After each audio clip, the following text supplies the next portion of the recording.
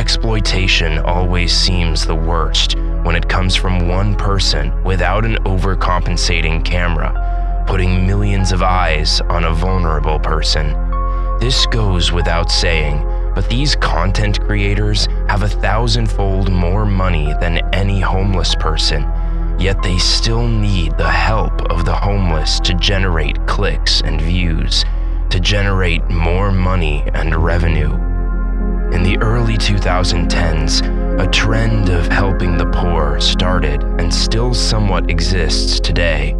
At first, the concept seemed so innocent, but over time, the morals depreciated, and it was evident that the goal was not to help the poor.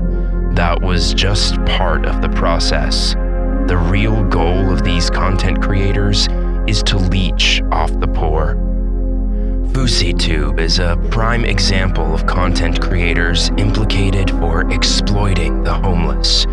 In one of his videos, he dressed up as his idea of what a homeless person looks like, what many consider disgustingly offensive and poorly executed.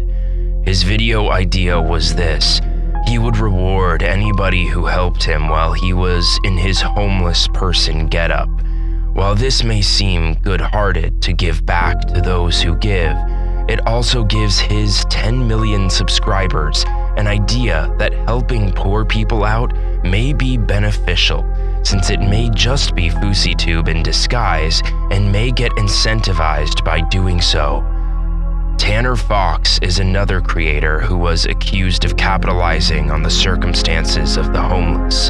In one of his videos titled Giving Yeezys to Homeless People, he starts off his video with the line Did you think I was gonna walk up with a pair of Yeezys and give it to the homeless? In reality, he just sold one pair to buy supplies to give around to the homeless. He films their faces crying in disbelief of what a good deed this young man has done, but at the consequence of their privacy.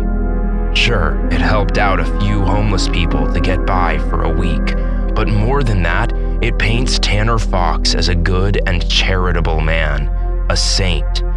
His approach, like so many other content creators, is considered to be taking advantage of the poor, generating ad revenue, content, subscribers, and affiliates. What's a $100 given to the poor when in return they can get thousands or tens of thousands of dollars in return from just one video? This type of video content depreciates the struggles that the homeless go through and demoralizes what otherwise would have been selfless acts, instead, acting like an investment which yields a monetary profit. But even without specific instances, critics claim that it's easy to tell from titles and thumbnails that most of these content creators who capitalize on poverty porn only want the clicks. From an overly exaggerated, gloomy look on the thumbnail to putting emotional on the video's title, these content creators are only out for clout at the expense of others.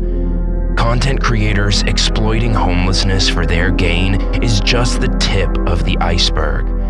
You have to really look up the ladder to see who's actually hurting the homeless and making even more money off of them than some measly creator with a video camera. We are talking about major corporations, the richest of the rich, and even the government. Corporations have never been for the common man. We all know that it's really about making money off the consumer, and they have been quite successful, as you are well aware.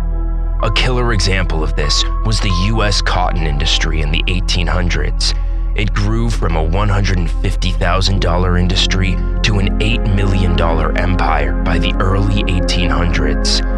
They profited not from selling cotton to fuel the booming fashion industry, but they profited more from the slave labor to which many corporations conveniently turned the other cheek. More cotton, more sales, more money. That was the end all be all, and companies didn't care who died. All they cared about was getting more labor to meet the growing demand. Corporations these days have only gotten smarter and richer since they found out they can't force workers to stay 80 hours a week and legally mangle minors.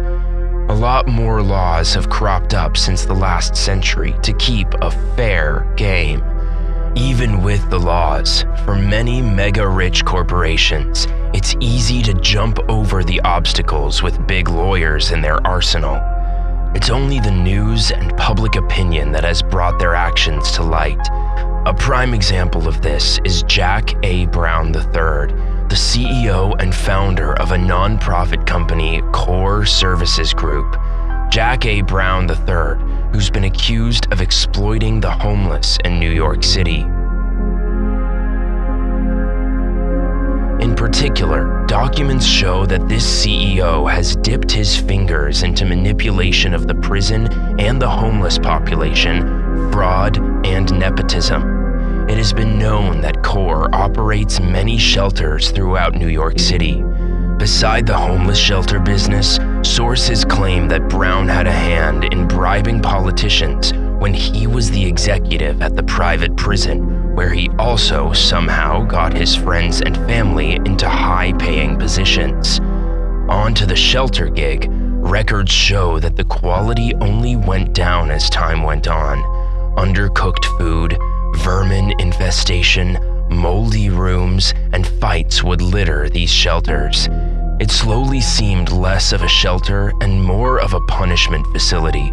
Security guards hired to keep the shelter safe only there's reports of them sleeping on the job. Fistfights were happening left and right.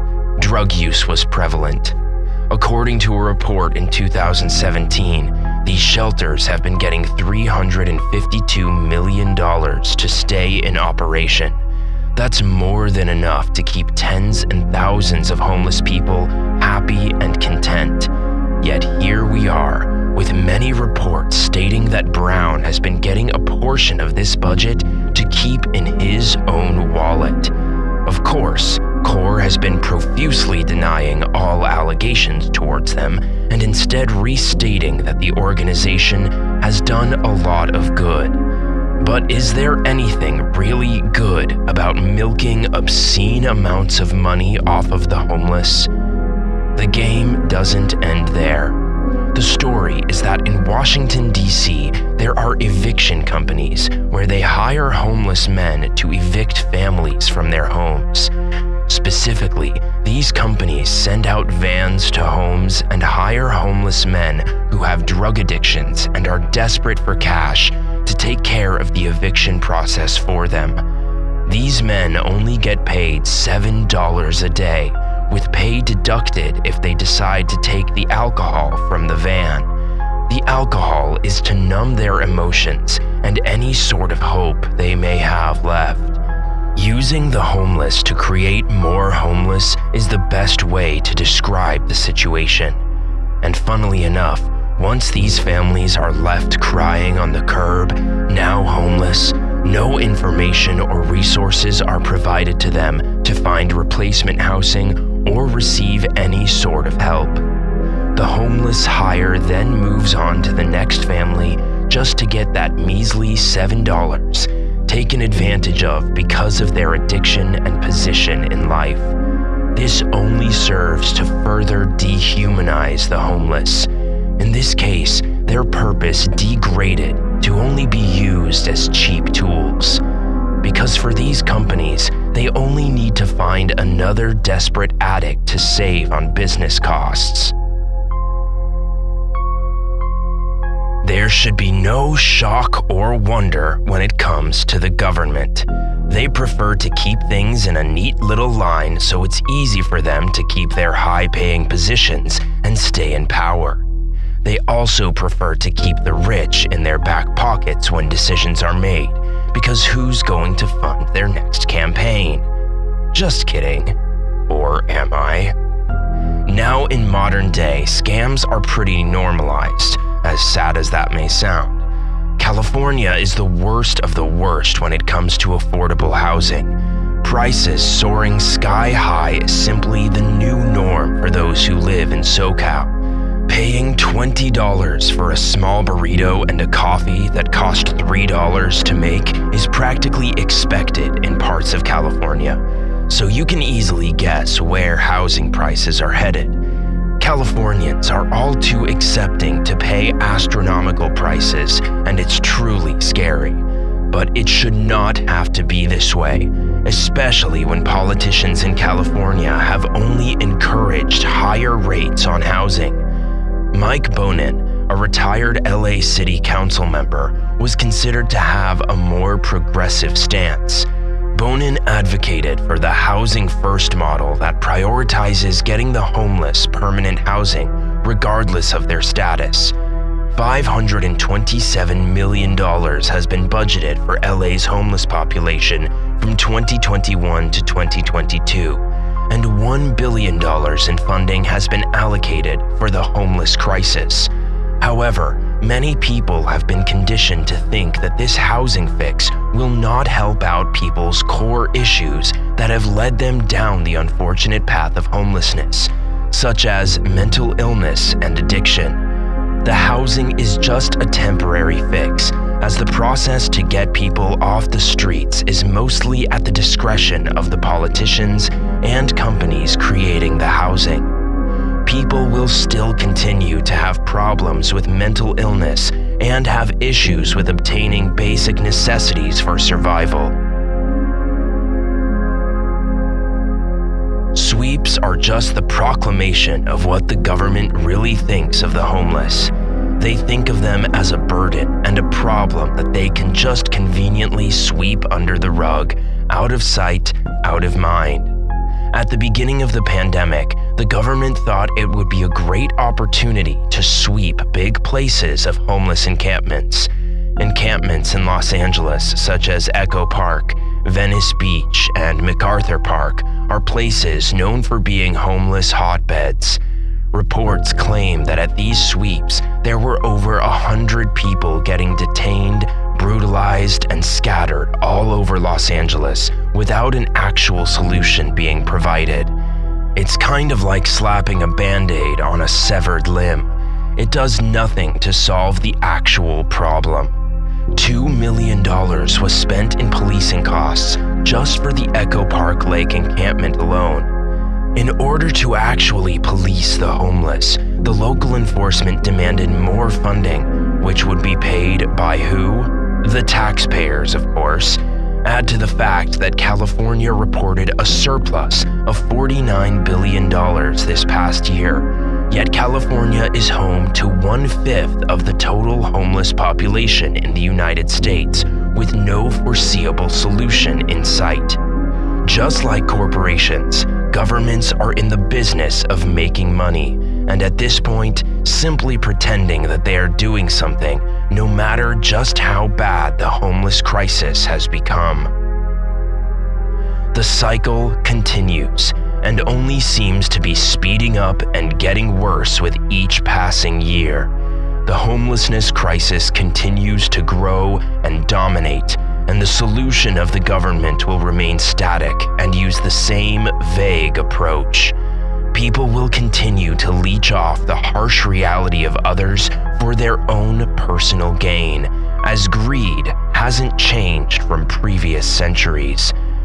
However, it may be that more and more people are starting to wake up to the problem. With the power of digital media, more unfair practices are coming to light and being exposed.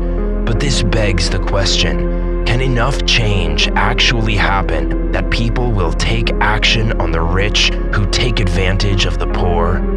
The cycle seems impossible to break, but it has to start somewhere. If this was an eye-opening video to you, go ahead and like and subscribe. Until next time, this is Eat the Rich.